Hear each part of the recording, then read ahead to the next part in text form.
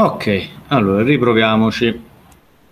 Adesso si vede, per cui diciamo, ed è sincronizzato. Ok, adesso eh, quante equazioni devo scrivere per questo circuito? Beh, eh, io adesso non vi ho dato nessuno strumento per capire quante equazioni devo scrivere, per cui andiamo un po' per tentativi o in qualche modo per, per intuito. Eh, ho queste variabili, io mi faccio un altro equilibrio, per esempio di correnti, e allora l'equilibrio di correnti, dove sta? Qua me lo posso fare qua, a questo nodo qua, lo faccio grande perché Vediamo. Cosa tiene in, in entrata? I con L. In uscita c'è I con C. E poi, diciamo, ho la corrente che entra nella resistenza, non uso un'altra variabile e dico direttamente che è la tensione diviso la resistenza quale tensione è sempre V con U.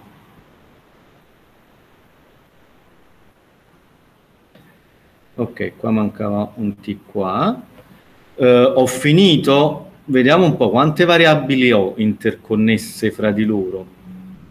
1, 2, 3, 4, una marea, diciamo, apparentemente, però in realtà diciamo che io sto usando sia i con C che V con U che a loro volta hanno un legame tra di loro. Qual è il legame che c'è tra di loro?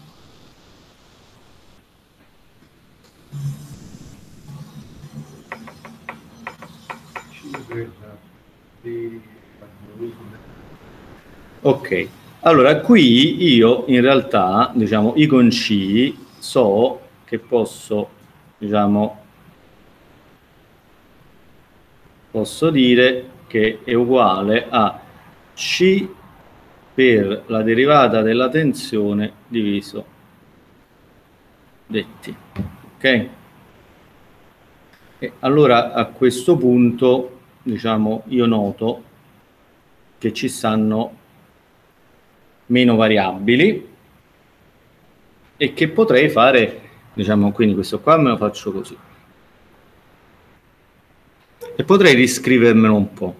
Allora, vediamo un attimo guardate un attimo, ho due derivate del primo ordine e a questo punto dico ok, però io faccio una, una definizione. X, la lineetta sotto quando sono diciamo alla lavagna vuol dire che è un vettore, va bene? Quindi io dico che x di t per me è che cosa? È uno stato che è formato da due componenti x con 1 e x con 2 e chi scelgo come due componenti? Ve lo dico io, diciamo, 99% delle volte lo stato sarà un dato del problema in questo corso, va bene? Io scelgo proprio le due variabili che sono derivate, metto cosa? I con L sopra e V con U sotto, quindi io metto I con L di T e V con U di T, ok? Ora, si vede ancora bene? Sì. Ora, che cosa posso fare? Io posso sostituire a queste equazioni che ho qui, a queste, a queste equazioni qui, molto semplicemente delle lettere, quindi non faccio niente di concettuale. L'ingresso lo chiamo U, lo stato lo chiamo X, e poi l'uscita, beh, l'uscita dipende da qual è il problema l'uscita. In questo caso ho messo il pedice U sotto la tensione, evidentemente voglio, decido che l'uscita è la tensione qui, e quindi la chiamo Y, e basta, ok? Quindi a questo punto io li faccio, faccio questi, questi calcoletti e ho la tensione in ingresso che è una U e, levo la variabile tempo solo per, per U uguale, qua ho Y più. Eh, questo è I con L, quindi L x punto con 1 e qui ho x con 1 uguale c. Allora questa qua sarebbe l'uscita v con u però in questo caso io me la scrivo come x punto con 2, e poi capiremo perché, più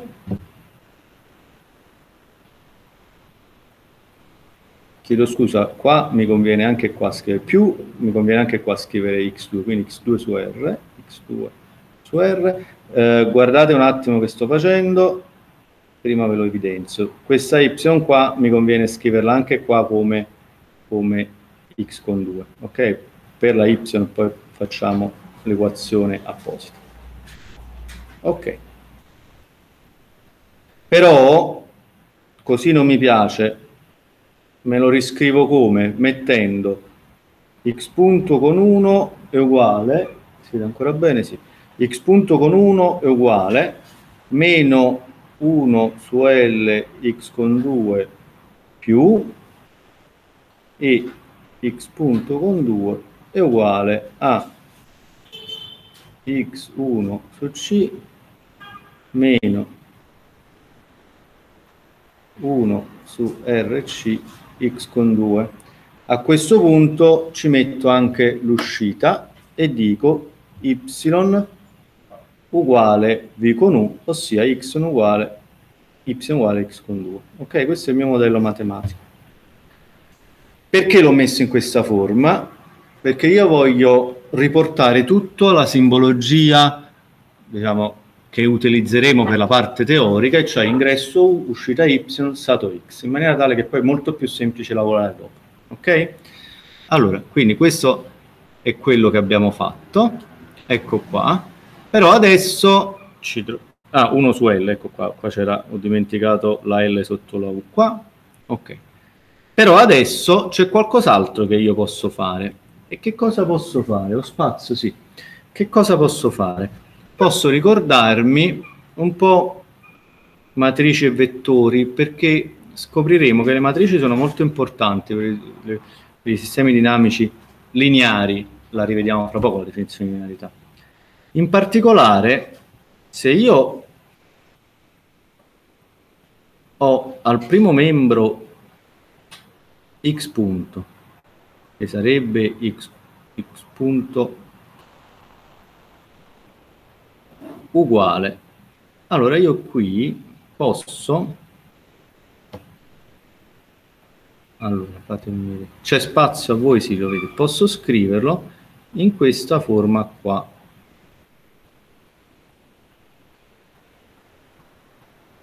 In cui devo capire questa matrice qua, che chiamerò matrice dinamica A quando sarà, e questa matrice degli ingressi B, che elementi metterci. Allora, guardate, cerchiamo di ricordarci un attimo prodotto matrice per vettore. Prima riga per prima colonna, prodotto scalare, prima riga per prima colonna. Quindi, cosa ci devo mettere nella matrice A tale che moltiplica x con 1 e che mi ridà, dove sta? E che mi ridà l'x con 1 che sta qui a secondo membro? Qua non c'è x con 1 a secondo membro quindi ci mette 0 quindi qua c'è 0 cosa moltiplica x con 2 meno 1 su L. Quindi qua è meno 1 su L. L'equazione di sotto x con 1 è 1 su C perché poi è seconda riga per e eh, meno 1 su RC meno 1 su RC per x con 2 per quanto riguarda la U, qua c'è 1 su L e qua c'è 0. Ma posso fare la stessa cosa anche con la Y. Y è uguale 0, 1, x, che sarebbe x con 1 e x con 2, va bene? Allora, che cosa ho fatto? Beh, ho scritto il mio modello matematico in forma matriciale. L'ho potuto fare perché? Beh, l'ho potuto fare perché questo modello matematico è particolarmente semplice. Che vuol dire semplice? Vuol dire che sono equazioni differenziali lineari, che si chiamano equazioni differenziali lineari in matematica, in analisi. Cioè, cioè guardate, coefficienti reali costanti, che sono i, sono i parametri del modello matematico,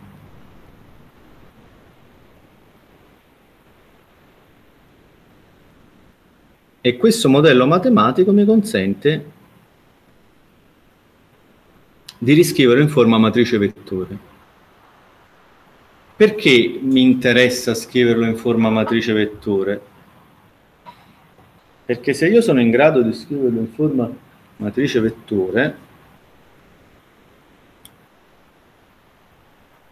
io x punto è uguale a x più bu, y uguale cx più u, beh, io vuol dire che lavoro su un oggetto del genere, indipendentemente da come ci sono arrivato, e poi su questo sviluppo una certa teoria che posso applicare in una casistica molto ampia. Va bene? E faremo qualche esempietto oggi. Per cui, qui ci sta, ci troviamo con i numeri, ok, qui ci sta quello che abbiamo appena fatto, è stata riscritta in questa forma e se voi vedete è grassetto, vettore, grassetto minuscolo, matrice, grassetto maiuscolo. A, B, C e D in questo momento non hanno la dipendenza dal tempo. Perché? Perché andiamole a guardare. Induttanza, resistenza e capacità, per ipotesi, sono costanti. Okay? Sono degli elementi del circuito elettrico che abbiamo preso da un cassetto e sono costanti. A questo punto la domanda potrebbe essere, ma, ma io qua ho diverse variabili interconnesse e la scelta di prendere la corrente nella induttanza e la tensione è stata arbitraria, cioè io l'ho fatta calare dall'alto. Cioè, ok, ma se io avessi scelto per esempio due correnti, cosa sarebbe cambiato? Mi rimetto a fare i calcoli okay, e scopro che io ottengo un altro modello matematico in cui ho una matrice dinamica A', B' e C', che sono diverse. E allora è possibile che il mio modello matematico cambi in base a come scelgo, a come scelgo queste, queste variabili? Beh no, non è possibile, Qual qualcosa cambia, ma sono cose che impareremo a fare. La scelta delle variabili Cambia qualcosa? Sì, è un grado di libertà che io posso sfruttare per capire meglio cosa sta succedendo nel mio sistema dinamico. Allora, a quali domande io potrei essere interessato a rispondere? Qual è il comportamento dinamico di questo circuito elettrico? Per esempio, come varia la tensione in uscita applicando una tensione in ingresso a gradino? Beh, il gradino ve lo ricordate, no? Perché l'ingresso a gradino, eh, diciamo, si usa spesso in teoria, poi in pratica non si usano i gradini, però fa capire molto. Posso chiedermi, ma io ho un generatore di tensione da una parte e poi ho un voltmetro dall'altra, perché la tensione in uscita la, la conosco per ipotesi, e le correnti?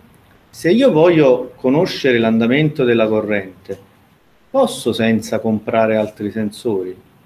Questa domanda è importante sia perché magari la corrente come ho detto prima, potrebbe essere non fisicamente accessibile per metterci un amperometro, magari non ho spazio, non ho il volume per metterci l'amperometro, oppure magari il mio circuito non è così banale e più sensori risparmio meglio è dal punto di vista ingegneristico. Quindi questa è un'altra domanda a cui impareremo a rispondere.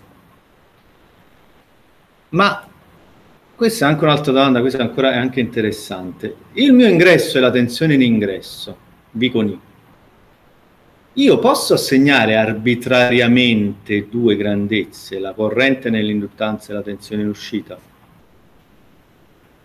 Impareremo a farlo, sotto certe ipotesi, però si può fare con un numero di ingressi P inferiore alle uscite, anche allo stato, io posso assegnare arbitrariamente.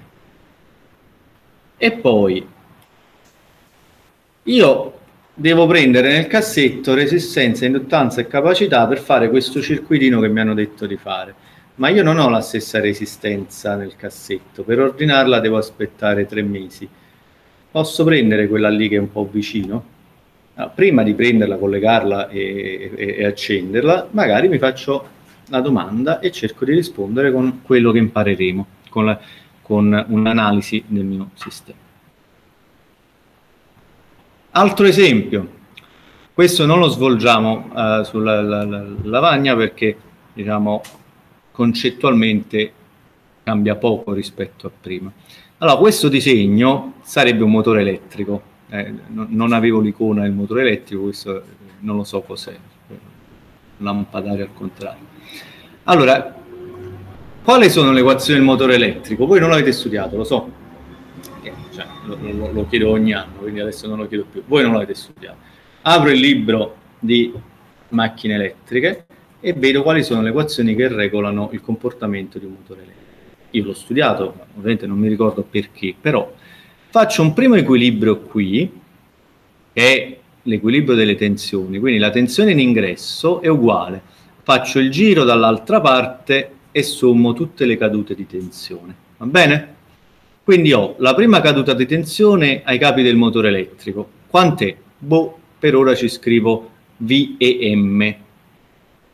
E poi la caduta ai capi della resistenza, che è R per la corrente che ci passa dentro, ho usato una variabile, quindi R per I, e poi ho la, la caduta di tensione ai capi dell'induttanza L dei suddetti. Ok, il libro mi dice che io il circuito di alimentazione al motore elettrico lo posso modellare con un'induttanza e una resistenza. Ok. Poi non ho finito perché VM chi me lo dà? Beh, io scopro leggendo diciamo, le equazioni del libro che non lo posso fare così, che la tensione elettromotrice è proporzionale alla velocità angolare del motore tramite una costante k di proporzionalità. Va bene? Quindi ce la scrivo qua. Ok. Non ho finito perché? Perché ci sta la velocità angolare del motore, quindi adesso abbiamo un oggetto che si muove questo è un sistema elettromeccanico. E chi regola il comportamento, la rotazione diciamo, del motore?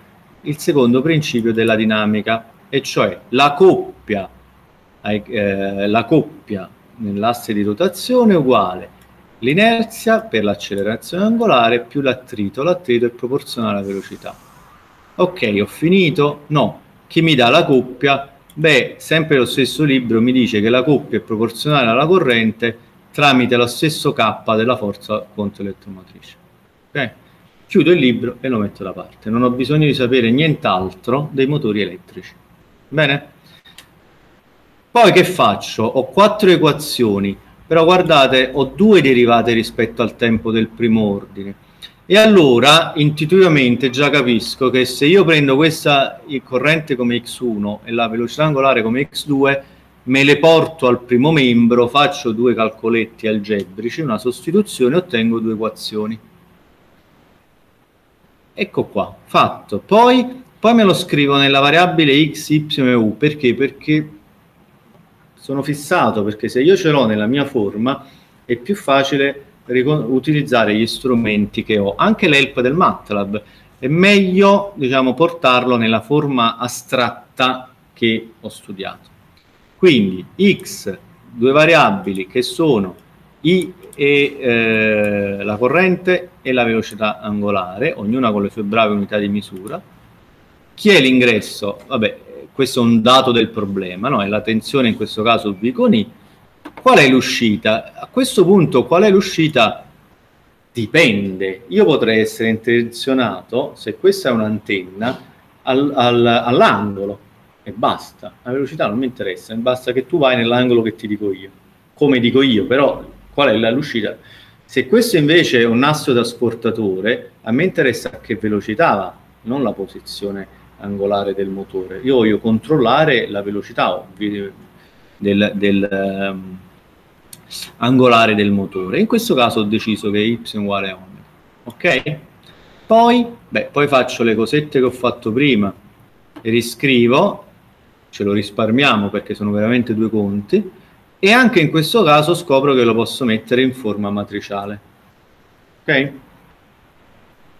In cui ci sono i parametri che sono un po' di più rispetto a prima e ci sono alcuni parametri che sono meccanici, l'inerzia e l'attrito, altri che sono elettrici resistenza e induttanza, e poi c'è un parametro che dipende dal motore elettrico. Quindi il motore elettrico me l'hanno dato, conosco il K perché lo vado a leggere diciamo, sul, sul il datasheet del motore elettrico. Eh, lo devo scegliere, allora magari il K è il mio grado di libertà.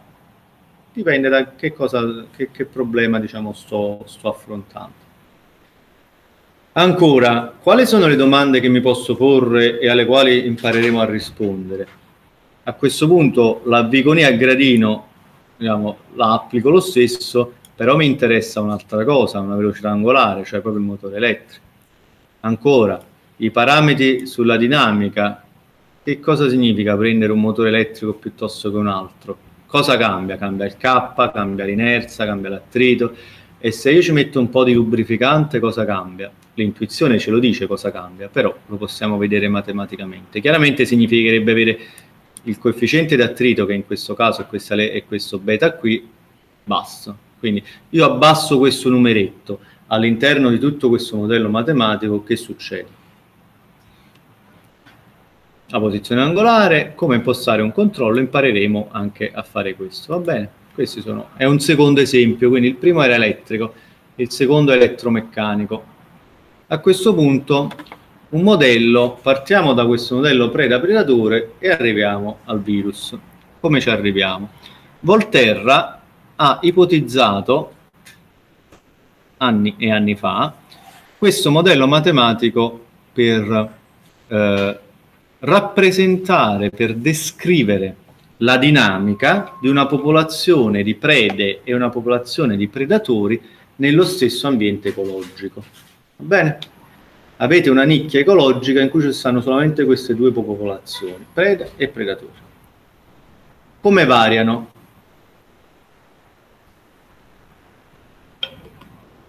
Facciamo il ragionamento. Vediamo che ragionamento ha fatto Volterra. La derivata delle prede vuol dire come cambiano le prede, quanto cambiano le prede vuol dire la dinamica delle prede. Sinonimi, quando io dico la dinamica di una variabile, sto dicendo il suo andamento nel tempo, cioè la sua derivata. Ok? Allora, lui dice, ok, io ho una popolazione di prede.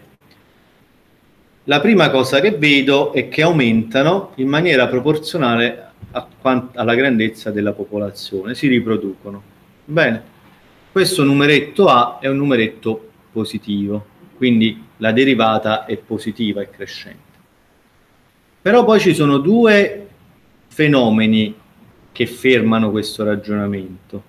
Il primo è un fenomeno legato alla stessa popolazione senza i predatori.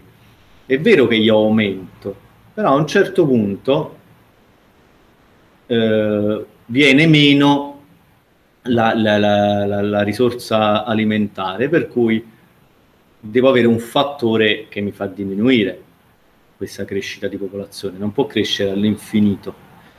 E allora lui che cosa ha pensato?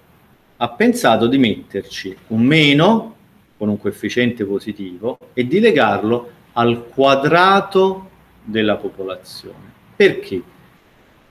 Faccio un disegnino veloce e capiamo perché diciamo ha fatto questa cosa. Ora, per farlo velocemente, forse mi conviene definire un board. Un board. Non so se l'ho fatto più velocemente o no, così no, non voglio il template. Allora, perché? Beh, per un motivo uh, di analisi 1, e cioè che se io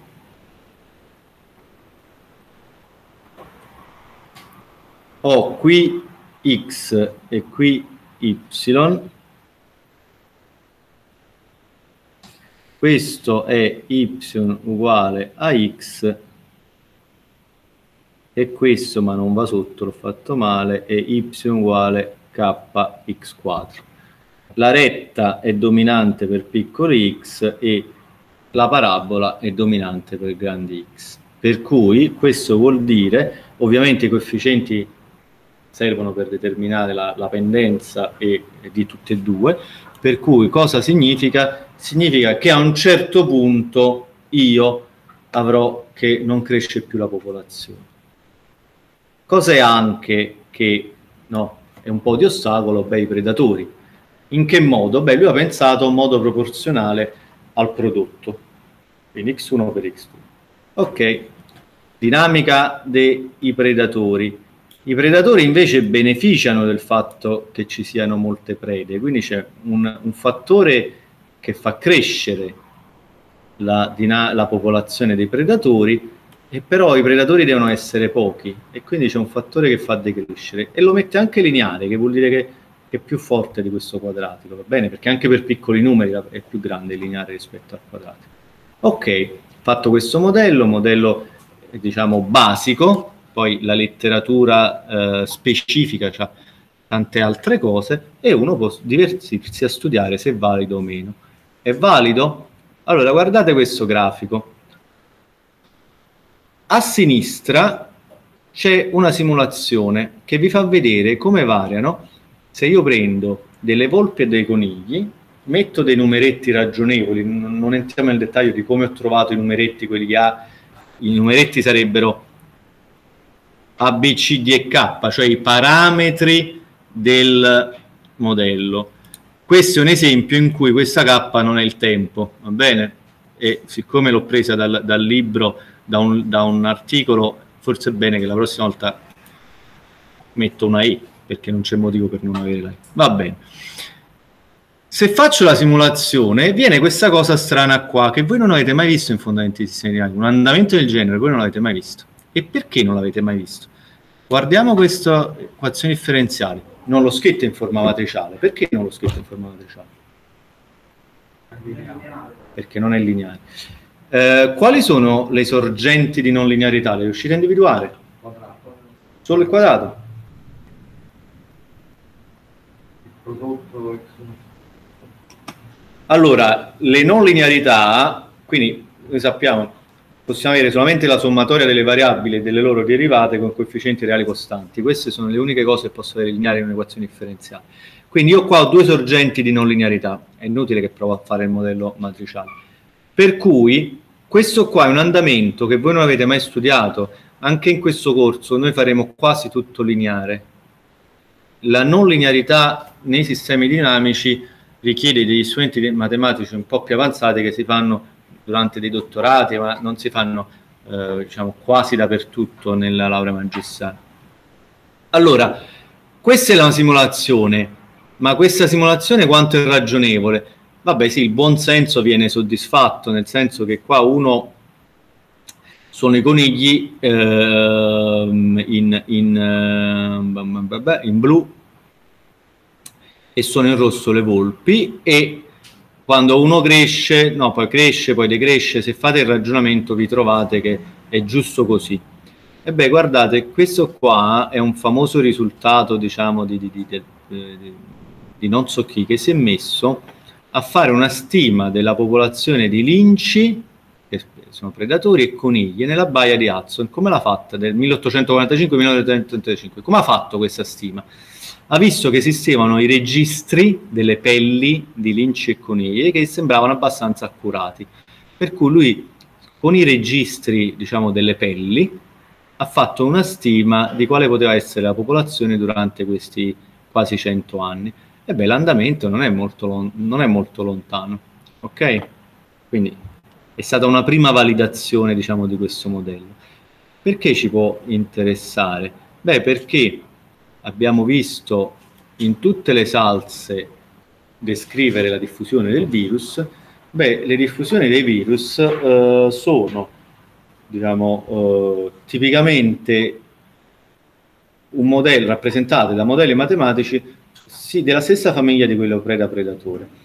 Io qui ne ho preso uno semplice e vi faccio vedere qualcosa che, che è interessante rispetto a quello che abbiamo visto nell'ultimo anno in Italia, nel mondo. Allora, questo è il modello cosiddetto SIR, dove S sta per